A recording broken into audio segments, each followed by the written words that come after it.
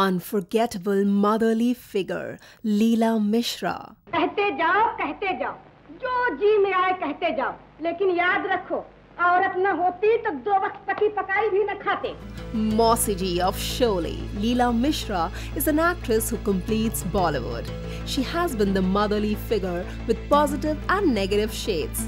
She was also seen in Baton Baton Mein as an interesting character. But her film career had began long back when female actors were not found easily. But she had her limitations that blocked her from being a heroine despite the fact that she got opportunities. Let's know about her amazing journey and what stopped her from being a heroine. आई जीनत बिटिया तुम्हारी मत मारी गई है अल्लाह न करे कहीं सर्दी समा गई तो जान के लाले पड़ जाएंगे Leela Mishra was born in the year 1908. She belonged to Jais, Rai Bareli. She was just 12 years old when she got married to Ram Prasad Mishra, who was a character artist then working in silent films. She and her husband were from the families of zamindars. When she was almost 17 years old, she had two daughters. खबरदार जो mere गाल ko हाथ lagaya to. खबरदार mere moosh ko हाथ lagaya to. Mama Shinde, who was working for Dada Saheb Phalke's Nasik Cinetone, approached and persuaded her husband to make her work in films. Female actors in those times were not found very easily.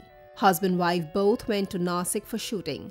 At that time, Leela Mishra received a paycheck of 500 rupees, whereas her husband just got 150 rupees for a month but later their contracts were cancelled. Then they got an offer to work in a film titled Bhikaran, which was being produced by a company owned by the Maharaja of Kolhapur. But Leela Mishra could not go ahead as the role required her to put her arms around the actor who was not her husband while delivering a dialogue, which she refused to do. हे माता जी क्यों पैदा किया था मुझे जन्म देते ही गला घोट दे she faced a similar problem while working in another film titled Honhar. She was cast opposite Shahu Modak as a heroine and was supposed to hug and embrace him, which she again refused to do. Since the company was legally in a weak position, they couldn't turn her out of the film, which proved to be a blessing in disguise for her. She was still a part of the film but not as a heroine. She was offered to play Modak Shahu's mother's role in the film and it worked for her. This opened the doors for her to play motherly roles at the young age of 18. So, as a heroine, she had her own limitations. She took up roles that suited her and made her feel comfortable. जी हाँ उन्होंने दिया और आपने लिया जैसे वो देने वाले वैसे आप लेने वाले फिर कहेंगे मैं जली कट्टी बोलती हूँ She has acted in many films like Chitralekha, Anmol Ghadi, Avara Daag, Nargis Dutt and Balraj Sahani starrer Lajwanti, which was nominated for the Best Film at 1959 Cannes Film Festival. She kept working in films that were popular, like Ram Aur Shyam, Mere Apne, Parichay, Amar Prem, Saudagar, Sholay, Sadma, Katha, and many more. She also acted in the first Bhojpuri film, Ganga Maiya Tohe Pyari Chadhaibo, in 1962, which also starred Kumkum, Helen and Nasir Hussain. ये माँ बनने वाली है। ये आप क्या कह रहे हैं? समझ के बात कीजिए। मैंने गलत नहीं कहा रानी साहब। आप जानते हैं ये है। मैं जानता हूँ। She worked in Naani Maa and then received the Best Actress award at the age of 73 for the same film.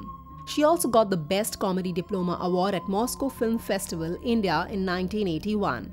She is one actress who has been a constant part of Bollywood from 1940s to mid 1980s. She cannot be ignored or forgotten. महाराज ये दुर्घटना मेरे घर में हुई है आपकी आज्ञा हो तो अमरनाथ यात्रा का प्रबंध मैं ही आपके साथ चलकर करूं जैसी इच्छा तुम्हारी She died of heart attack in Bombay on 17th January 1988 at the age of 80. Bollywood can never be complete without mentioning her or thinking of her face in films. She is not just the Chachi or Mausi. She is Leela Mishra, an actress who established herself and survived. To know more interesting stories of Bollywood, subscribe Page 3 Reporter.